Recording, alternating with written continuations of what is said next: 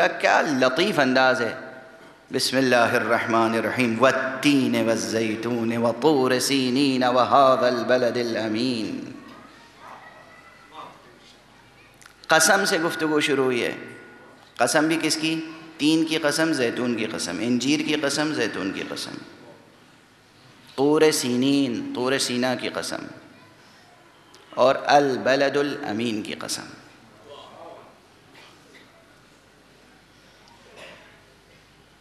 ये कुरान है, कोई आज़ाद शायरी थोड़ी है?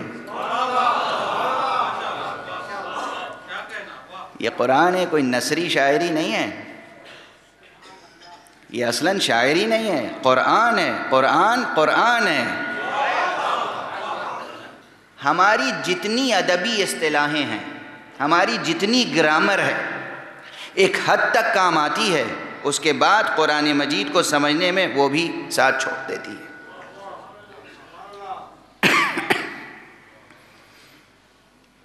मैंने आपके सामने कुरान मजीद के एजाज़ के सिलसिले में जो बातें अर्ज़ की हैं, उसमें एक बात यह भी अर्ज़ कर चुका हूँ कि कुरान मजीद जब भी आप पढ़ें तो नए मानी सामने आते हैं। पूछने वाले ने अभी मेंबर पर आने से पहले मुझसे सवाल किया कि ये नए मानी, क्या यही जो मानी मुतारफ़ हैं, जो मौजूद हैं जो डिक्शनरी में लिखे हुए हैं, किसी लफ्ज़ के पाँच मानी, किसी के सात, किसी के सत्रह, किसी के सत्तर, ये जो मानी पहले से लिखे हुए हैं डिक्शनरी में, इन्हीं की मदद से ये नए मानी मुतन होते हैं। मैंने अर्ज़ किया, नहीं। पहले तो मैं अपना बहुत पुराना जुमला जो आप यकीनन भूल चुके होंगे, याद दिला दूँ।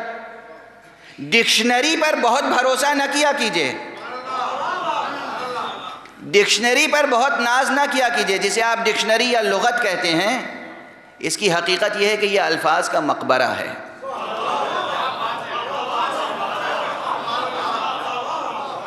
क्या है? अल्फाज का मकबरा है। मुर्दा अल्फाज जहाँ पाए जाते हैं, उसका नाम है लगत। ये तो कोई ज़िंदा अदीब, ज़िंदा ख़तीब, ज़िंदा मुतकलम होता है जो उन मुर्दा अल्फाज में अपने अनफाज से नई रूह डाल देता है।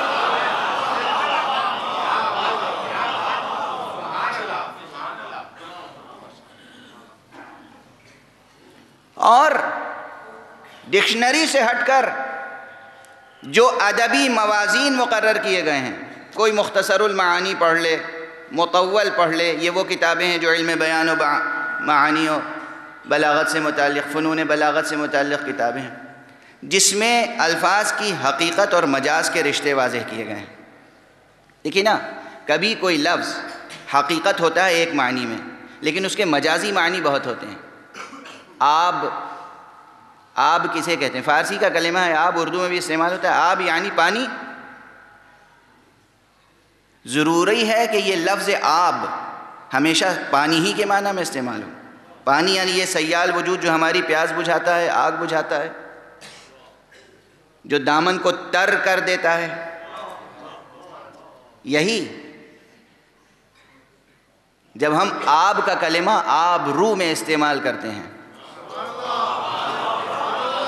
फिर क्या मानी होते हैं? आब रू। जब हम इस आब का कलेमा आब शमशीर कहते हैं तो फिर क्या मानी होते हैं?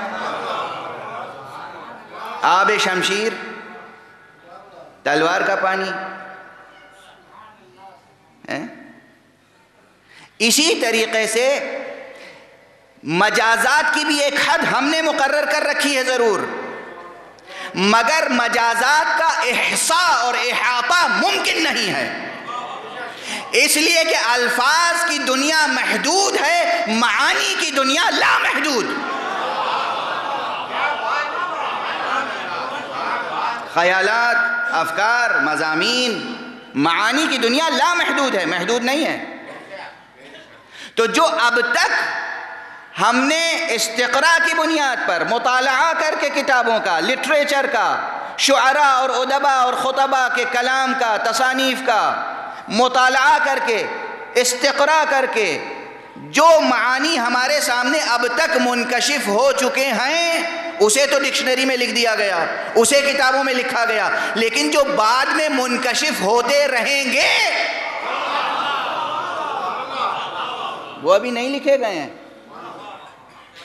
वो मानी अभी नहीं लिखे गए हैं। जो अब तक मुनकशिफ हो चुके लेकिन ज़िंदगी का सिलसिला जारी है, ज़िंदगी का तनव जारी है, ज़िंदगी का तलवन जारी है, ज़िंदगी का इर्तिका जारी है। ज़िंदगी के इर्तिका के साथ रूहानियत और मानवियत की दुनिया भी इर्तिका पा रही है। नए नए मानी के रिश्ते जो पैदा होंगे, अल्फाज की दुनिया तो महदूद है, रिश्ते लामहदूद होंगे। तो अब हकीकत मजाज के इलाके महदूद नहीं किए जा सकते। अब जो रब अकबर का फैजान किसी कल्ब आरिफ पर होगा, उसे डिक्शनरी की मदद से हल नहीं किया जा सकता। इसीलिए कभी कभी औरफा खामोश हो जाते हैं, किस जबान में गुफ्तगु करें, और करें तो किससे गुफ्तगु करें? जो मानी उनके कल्ब पर मुनकशिफ हो चुके हैं। ज़रूरी नहीं कि दूसरों के कल्ब पे मुनकशिफ हो चुके हों। ये कुछ कहेंगे, समझने वाला कुछ और समझेगा।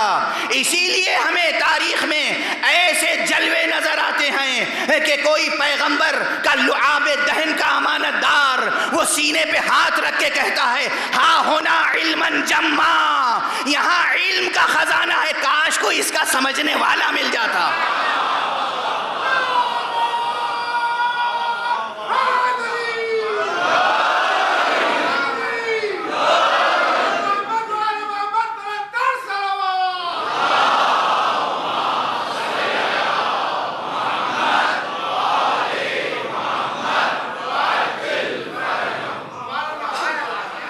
और मैं क्या करूँ? मजबूर हूँ इस मौके पर कहने के लिए। ये तारीख़ है अमीरमिन अली बिन अबी तालिब सलाम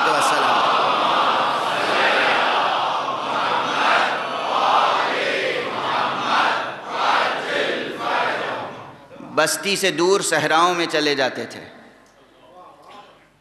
वहीं मुनाजात करते थे।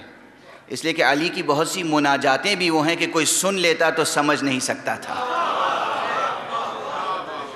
रब से मुनाजातें वो हैं अली की। कि कोई सुन लेता तो समझने का यारा न था उसमें।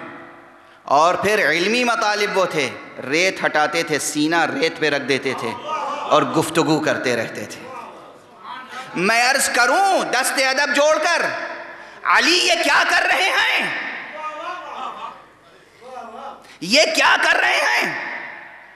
आज कोई समझने वाला नहीं है तो खामोश रहे। कहा, नहीं, मैं गुफ्तगु कर रहा हूँ इस ज़मीन से। इससे मेरी गुफ्तगु से जो लहरें, जो मौजें पैदा होंगी, ये कयामत तक जारी और सारी रहेंगी। और जब भी कोई जर्फ इसका मुतहमिल करने वाला